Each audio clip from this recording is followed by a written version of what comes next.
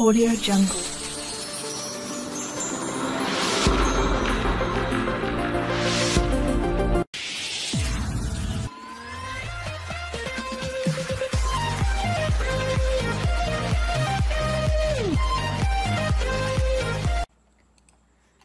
Xin chào bà con, thì hôm nay á, bên trái cây thường Mùa Lắc á, mình có đến vườn của anh Sướng ở Quang Trung, xã E Tăng, huyện Cà Rô Búc, tỉnh Đắk Lắk á.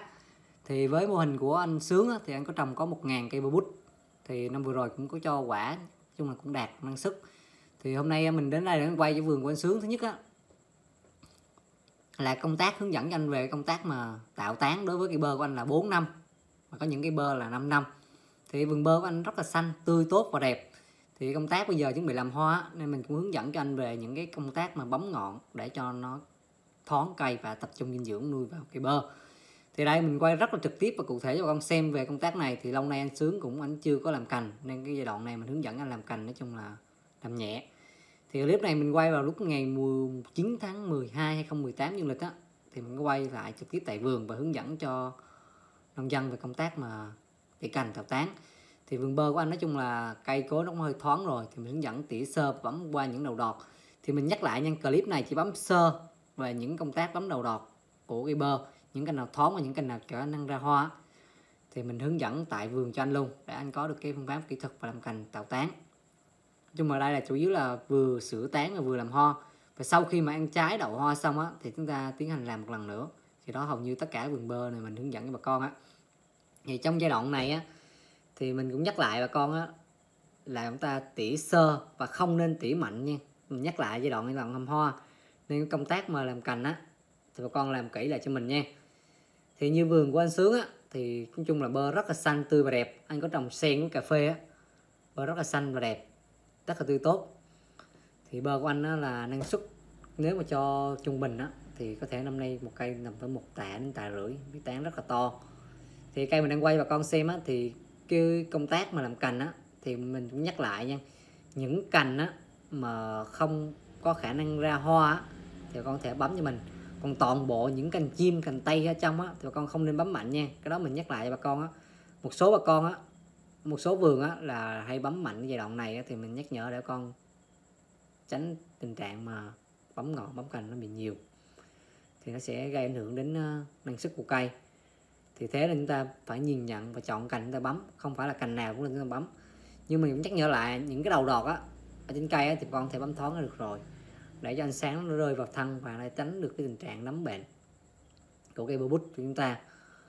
Thì vườn này thì mình đang quay trực tiếp về cái nông dân của anh sướng, anh hướng dẫn về cái công tác mà tỉa cành tạo tán. Thì giai đoạn này mình sau khi mà làm cành xong á, thì đối với những vườn bơ như trực tiếp mình đang quay bà con xem của anh sướng á, thì bà con nên bón cho mình lăng. Đối với những cái bơ 4 năm thì bà con có thể bón cho mình 4 đến 5 kg lăng tùy vào tán hai về kali á, thì bà con có thể bón cho mình từ nửa ký đến một ký tùy tán.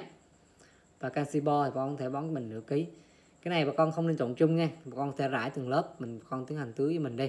Lăng kali rồi canxi bo con tiến hành bón rời ra mò rải xung quanh gốc con tiến hành tưới nước cho mình luôn. Sau khi tưới nước luôn á, là bà con tiến hành siết nước cho mình luôn nha. Không tưới nước gì hết, và bắt đầu tiến hành phun chặn đọt. Thì việc phun chặn đọt đó thì bà con khoảng cỡ 5 đến 10 ngày nữa, bà con tiến hành có thể là ngày 20 tháng 11 2018 bà con tiến hành phun chặn đọt toàn bộ cho mình.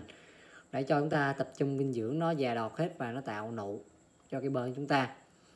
Thì clip này mình quay cũng rất là chi tiết về công tác làm cành. Thì à, mình quay cũng có hơi nhanh một chút cho con tham khảo về công tác làm cành. Mình cũng hướng dẫn là rất là chi tiết. Bà con phải bấm từ trên ngọn, bà con bấm xuống, làm từ trong ra ngoài. Sau khi đó, bà con xuống dưới đất, bà con xem lại tán cây và con tiến hành sửa cho mình đặc biệt đối với những cái cây bơ bút chúng ta. Bà con luôn để ý nha. Những cái cành chim á mà ở trong thân á là luôn luôn nó bị khô và chết. Thứ nhất là không có ánh sáng. Vì thế nên mà con phải nhìn được cái lượng ngọn ở trên cây bơ những cái điểm nào bị khuất ánh sáng á, thì con nên bấm lại cái đầu ngọn đi cho ánh sáng nó vô vào để được hiệu quả hơn. Và trong cái giai đoạn này sau khi bấm tỉa cành xong á con tiến hành phun thuốc sâu cho mình nha cái thứ hai nữa bấm phun thuốc rửa vườn nắm vườn. Thì giai đoạn này là hầu như tất cả bà con chúng ta đều biết. Đối với những vườn bơ mà đang xanh thế này, đặc biệt là bò xích hầu như bà con chúng ta rất thờ ơ như là không có coi trọng những cây đọt non của cây bút ra. Khi ra những cái đọt này thì bà con phải chịu khó phun thuốc sâu cho mình để tránh tình trạng bò xích cái chích. Nếu như bà con để bò xích cái chích á thì sẽ rất ảnh hưởng đến ngọn và năng suất của cây bơ, hoa sẽ bị đuôi cái đầu đọt lên. Nên dẫn đến tình trạng mà hoa chúng ta ra rất là kém và không có chất lượng và không có đạt, không có đậu hoa. Thì giai đoạn này mình chỉ quay cho con tham khảo về công tác làm cành của vườn anh sướng và để con xem là cái bút chúng ta. Thì tiếp tới mình sẽ làm theo từng giai đoạn, có nghĩa là giai đoạn phun thuốc chặn đọt, giai đoạn phun nấm bệnh trước khi tạo nụ, cái thứ hai là trước khi nở hoa phân tầng thì mình sẽ làm từng giai đoạn. Vì thế nên những clip mình quay á, thì bà con có thể đăng ký kênh và theo dõi video để tránh tình trạng chúng ta có thể là lúc gọi điện thoại tư vấn sẽ khó khăn hơn. Chung là gọi nhưng mà trong những thời gian mà bên mình trả lời không kịp á thì bà con có thể nhắn tin để bên mình trả lời lại.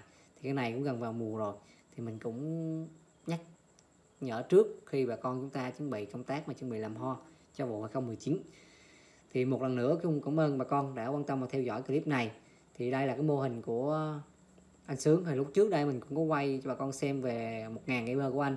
Thì hôm nay mình quay lại cho bà con về cái công tác mà tạo cành của anh để giúp cho anh một mùa năng suất 2019 sẽ hiệu quả hơn đối với 1.000 cây.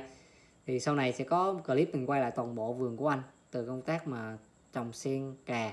Thì đây mình chỉ quay cho bà con xem về cái xử lý tạo tán của cái bơ bút. Bà con cứ đăng ký kênh, theo dõi kênh. Xin cảm ơn bà con ạ.